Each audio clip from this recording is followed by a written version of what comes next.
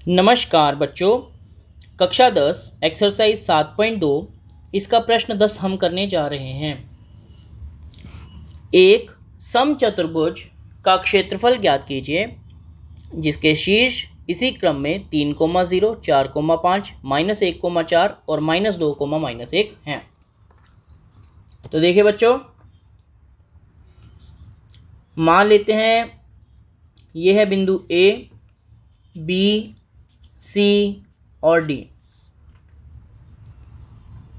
और इनके शीर्ष हैं तीन कोमा शून्य,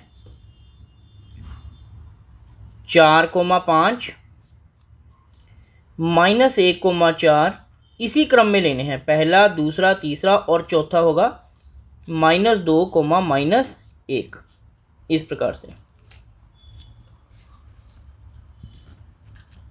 बच्चों, इस प्रश्न में करना क्या है, मैं आपको समझा देता हूँ पहले, फिर हम इस प्रश्न को हल करेंगे। देखो, हमें निकालना है सम चतुर्भुज का क्षेत्रफल, और सम चतुर्भुज के क्षेत्रफल का एक फार्मूला होता है हाफ़ इंटू इसके विकर्णों का गुणन। एक विकर्ण है, यह ए सी और दूसरा विकर्ण है, यह बी डी यानी हम ए सी को और बी डी को निकालेंगे तो half into D one into D two हम यूज़ करके इस सम चतुर्भुज का क्षेत्रफल निकाल देंगे। अब ये विकर्णों की लंबाई कैसे निकलेगी? इसके लिए हम पिछले प्रश्नावली सात पॉइंट एक में यूज़ किया गया दूरी सूत्र का प्रयोग करेंगे।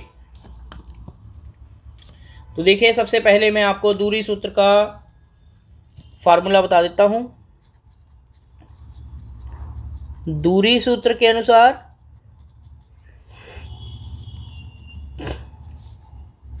दूरी बराबर होती है root X two minus X one का whole square plus Y two minus Y one का होल स्क्वायर। इसके बराबर। ये दूरी का सूत्र है, दूरी सूत्र है। है ना बच्चों? मैं थोड़ा जूम कर रहा हूँ ताकि आपको आसानी से दिखाई दे सके। तो अब इसी हिसाब से हम सबसे पहले दूरी ए सी निकालते हैं। यह बराबर होगा root X two minus X one का होल स्क्वायर इसे एक्स टू माने इसका एक्स मान।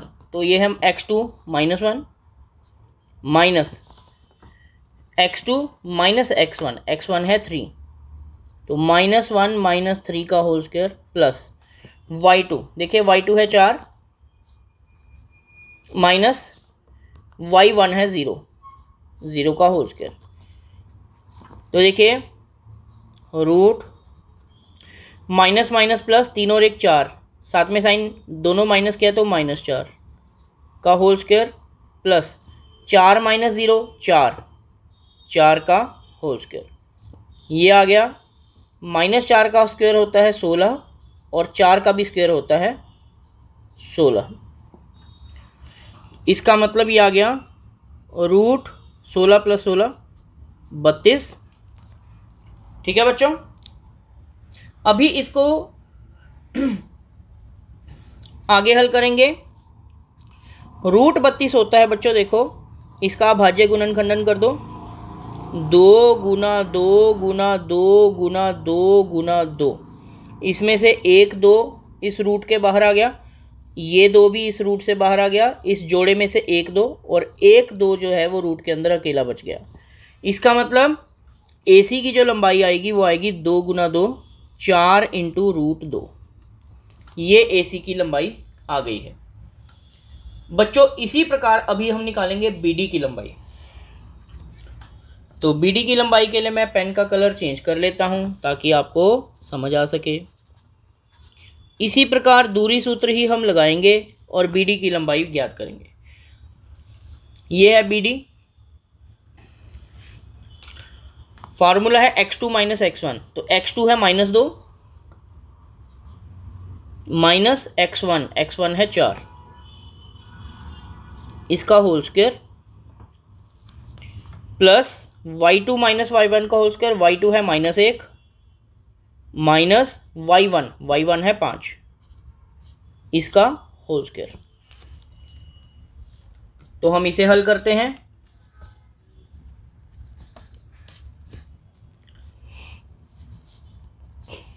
देखिए रूट माइनस माइनस प्लस दो और चार छ, साथ में साइन माइनस का।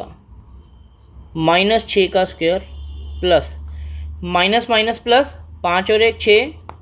साइन माइनस का क्योंकि दोनों रकमें माइनस की हैं। यानी माइनस छः का स्क्वायर। इसे हम आगे हल करते हैं। माइनस का स्क्वायर प्लस छः का स्क्वायर छत्तीस। माइनस का स्क्वायर प्लस छः का स्क्वायर छत्तीस।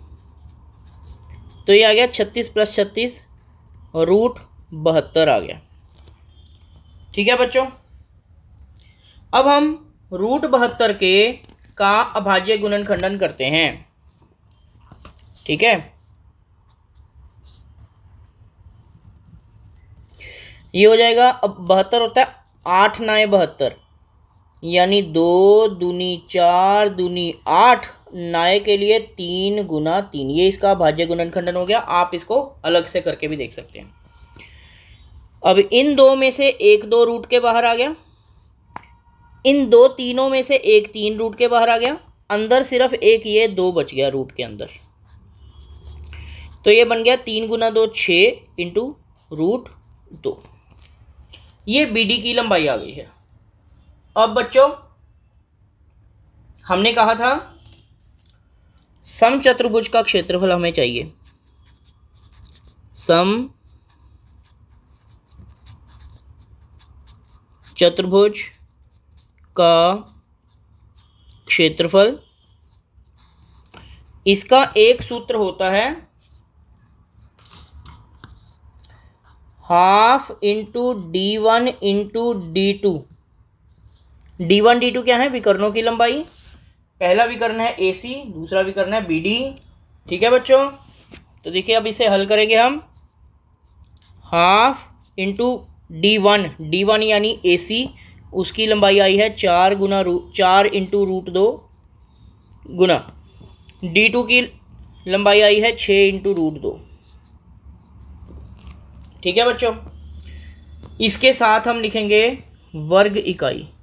यानी जो भी इकाई हमें दी है सेंटीमीटर दिया है तो वर्ग सेंटीमीटर मीटर दिया है तो वर्ग मीटर। ठीक है बच्चों? क्षेत्रफल है इसलिए वर्ग में। अब हम क्या करेंगे देखिए? दो से ये चार कट जाएगा, दो दूनी चार। ठीक है बच्चों? ध्यान से देखना। दो से चार कट गया, दो दूनी चार। अब ये है दो और ये है छः। रूट के बाहर वाली संख्याओं की बात हो रही है। यह है दो यह है छः। छः दूनी, बारह। और रूट दो गुना रूट दो होता है दो। तो ये दो बीस से गुना हो जाएगा। ये समझे बेटा? दो छीके बारह, रूट दो गुना रूट दो होता है दो। इसके साथ आ गया वर्ग इकाई। इसका अर्थ यह है, सम चतुर्भुज का क्षेत्रफल बराबर होगा बारह दुनी चौबीस वर्ग इकाई के। ये हमारे प्रश्न का उत्तर आ गया है। चौबीस वर्ग इकाई। ये समचतुर्भुज का क्षेत्रफल आ गया है। तो बच्चों, आशा करता हूँ इस वीडियो के माध्यम से आपको यह प्रश्न अच्छे से समझ आया होगा। यदि आपको यह प्रश्न अच्छे से समझ आया तो आप इस प्रश्नावली के बाकी प्रश्नों के हल देखने के लिए हमारे YouTube चैनल को सब्सक्राइब कर सकते हैं और वहाँ पर बाकी प्रश्नों के हलों को समझ सकते हैं। धन्यवाद।